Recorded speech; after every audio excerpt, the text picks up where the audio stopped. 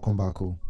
So imagine say you want to build a very large application, and of course, if you don't start to use HTML, CSS, and JavaScript, you could work well on top of these small small machines or laptop. Maybe say your RAM is slow, but what if you fit code for the cloud? What if you fit write code on top any old laptop, slow laptop, but it could fly, it could go well. You, get the one way they don't make, where they call Gitpod. If you come gitpod.io, you go see this screen for here. And what thing they do is they give us a VS Code in the cloud. They give us a whole VS Code instance. If you use ARM for your browser, you'll get a full VS Code environment, including your terminal self, a good day for the cloud. So I mean, if you now don't watch my previous video, I got don't hint to about this kind of thing before.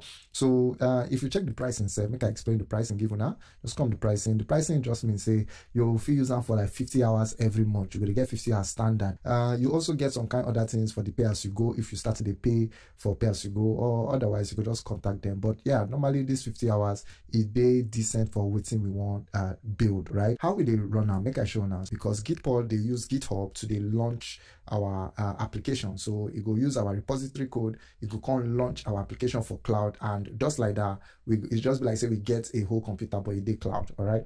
So we're gonna sign in with GitHub here. All right. And this is say you don't sign up. You just say this is not my dashboard. Well of course i don't run build something and this is not old project. Say if you they even check members if you they when you don't they do teams and all that if you they check your usage. So like me now we don't they run I'm already this this this month uh where i've been to build the other application i get already usage we could don't count. The way you go take run and say you go need to set up a new workspace. And once you click on this new workspace you go see say it gives you all these options. Number one they say you go first need select your repository where you go like work with and then go of course select the editor where you go like work with. So you see all these editors where you like where if you work with. So then at this one we won't use the vs code for the browser. So if you look here also you go notice say it talk standard for here. So this standard if we click on you can see say it get two types. You get the standard and you get the large. The standard now just four cores and then uh, we get 8 gig ram and 30 gig storage. My machine that time when i start when i been try run react or something like that the laptop on the slow on the slow on the slow. You know if you go well. So when you started to go for react and nextjs and angular all those kind of frameworks you say they chop your ram like this you go need all these kind of tools. But me i always like this standard because i mean this 8 gig ram is it did very well for me. So make we try runner on top the 8 gig ram. And then you go just come here come click the repository for this select repository. If you just click this um, project for here luma which now what we go build eventually one day on top the next.js project. And uh, what we're go do be say uh, I know go click here because I always like the maybe one day I go like use the standard large size. So I will just leave it like this and then we just click continue.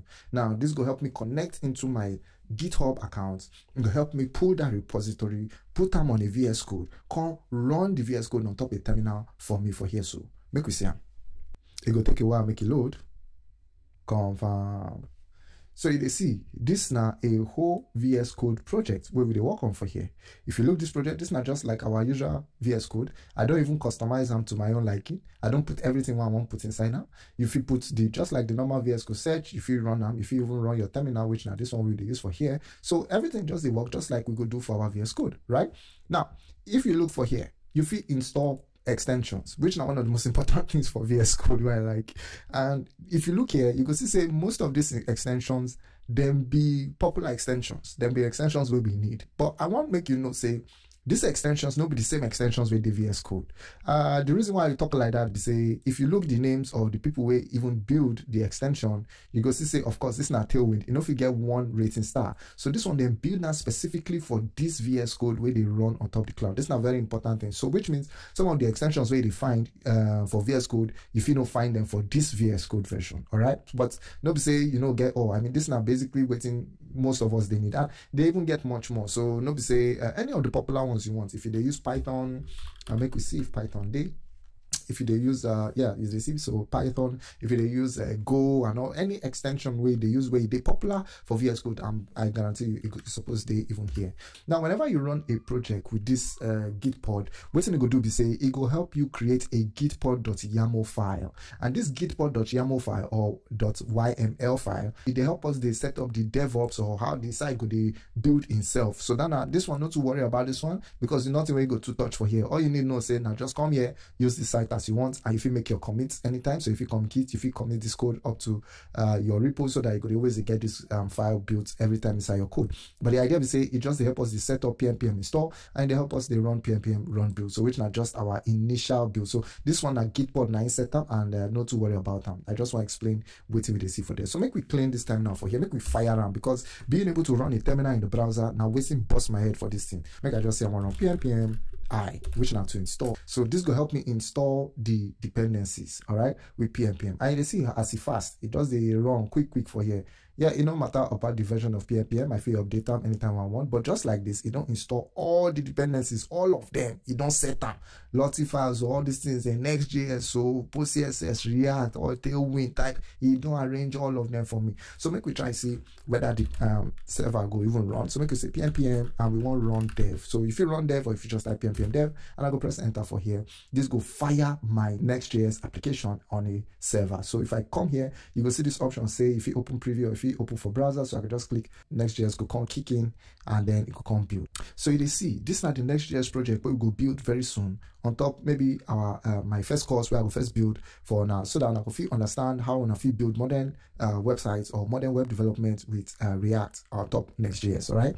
So the way we could run and we say we could build this application and we even run them for the cloud because this is a very nice application where you get some kind um, re very reactive components and we go build them on top Next.js. All right. It is also very very responsive. So I hope say by the time this course comes out, say we go really learn a lot for this course. I did very happy about that, although it's still a work in progress. And uh, I just want to show una this project we did for here. So, so you see, with just these little things, we don't get our working environment. And of course, if we want to make changes to the code, so make I just find uh, something where it fits with the use next 13 for here. And uh, no worry if you don't understand all these things for here. I'll explain this one given now very soon when we uh, when this course comes out.